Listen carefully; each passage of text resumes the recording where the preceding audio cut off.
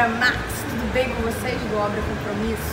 Helena, sua dama do gesso, passando por aqui para falar sobre um tema que eu considero muito importante.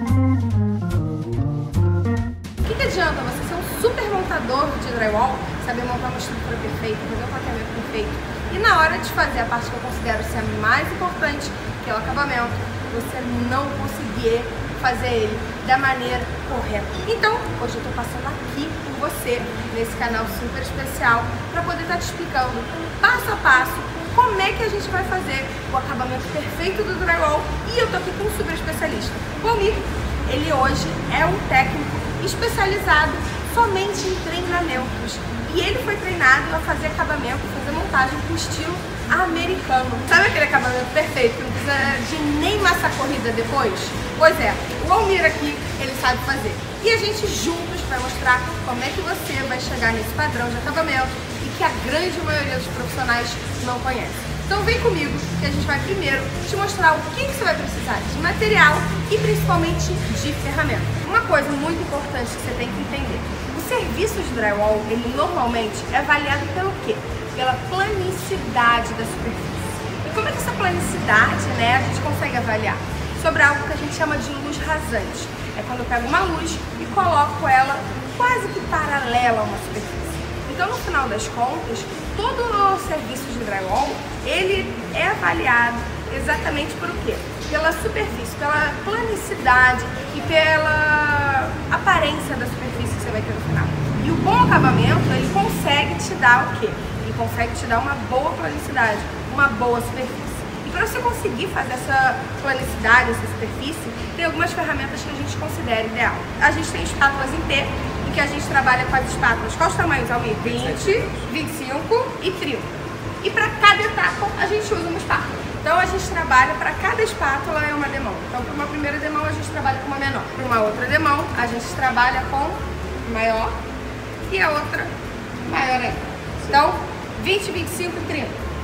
É, mas tem uma regrinha que é referente ao rebaixo e ao topo. Na sequência, a gente começa sempre pelo rebaixo. Então, seguindo essa linha, essa ordem, a gente também consegue manter sempre da ordem crescente, da menor para maior. Então, duas demãos é o suficiente, então a gente vai trabalhar no rebaixo com a espátula de 20 e 25, são essas duas aqui. Depois, quando a gente conclui essa etapa, que vamos trabalhar no topo, a gente precisa de 25 na primeira demão e conclusão a de 30 na segunda. Então, recapitulando, na placa de drywall a gente sempre tem as bordas rebaixadas, né? E a gente tem a borda de topo, que são as retinhas. Quando ela estiver rebaixada, a gente usa de 20 e a de 25. Quando a gente tiver a de topo, que é mais difícil de fazer o tratamento, né, Almir? É uma placa, é uma borda que normalmente aparece mais. E lembra, a gente tem que tomar cuidado na planicidade e para não ficar nenhuma marcação. A gente vai estar trabalhando com a de 25 e com a de 30, né? Agora uma coisa importante, né, Almir, que a gente não pode esquecer. Todo bom acabador tem que ter as ferramentas sempre limpas. Então a sua cubuca tem que estar sempre limpa, as suas espátulas têm que estar sempre limpas, porque elas se tiverem resíduos, se tiver alguma sujeira, vai acabar marcando no acabamento, né? Então é muito importante sempre você ter o quê? Um balde de água limpa para estar sempre limpando as suas ferramentas e até a gente usa um pouquinho da massa, né, Almeida, às vezes? A gente precisa, às vezes, diluir um pouco a massa, precisa usar a água limpa, não dá pra usar água assim. Outra coisa também muito importante, é o batedor. Antes de você começar sempre a fazer o acabamento, bate a massa, né, Almir? Sim. Então a gente engata isso aqui na parafusadeira, ou então no martelete, e bate a massa para preparar ela para ser utilizada. A diferença é que algumas pessoas às vezes acham que não tem diferença. Ah, eu consigo bater com um pedacinho de madeira, eu consigo bater com o próprio braço. Bom, você vai bater, vai misturar um pouco da massa sim, porém não consegue o suficiente. Então a ideia é ter um batedor para que você possa bater da forma correta. Agora falando um pouco sobre os materiais. O que, que a gente usa para fazer o acabamento, né? Num primeiro momento a gente usa gesso e cola. Pode ser gesso e cola ou só gesso e cola? Não, gesso e pó não. Gesso e pó não?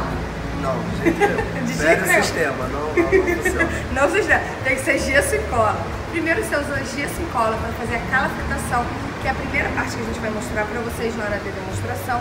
E depois a gente já usa a massa de acabamento, né?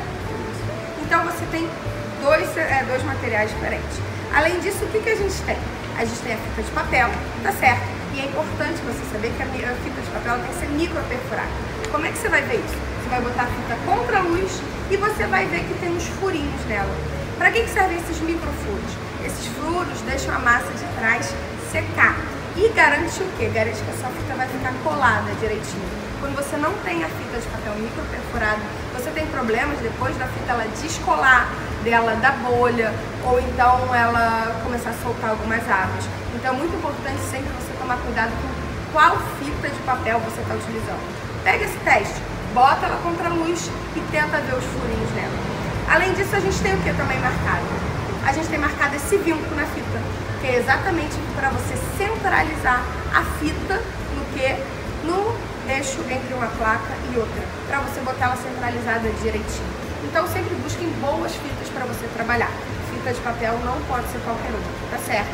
Além da fita de papel, a gente tem a fita telada.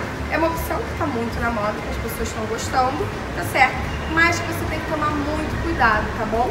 Porque dependendo do tipo de fita, você pode ter algumas patologias na sua obra ou não. E o mais importante, a fita ela tem algumas diferenças. Tem algumas fitas que são trançadas e outras fitas que são soldadas. Então, toma cuidado com a sua fita, tá? Eu, Helena, o Almir não gosta de fita calada, né? Mas aí vai de montador para montador. Mas tem muito montador que gosta disso também. Mas a fita telada, eu, Helena, quando eu trabalho, eu vejo serviços, eu prefiro a fita soldada ao invés da trançada. Mas lembra que você tem essas duas opções. Então vamos partir, vamos para acabamento agora para vocês verem passo a passo, etapa por etapa. Tá certo? Vamos comigo.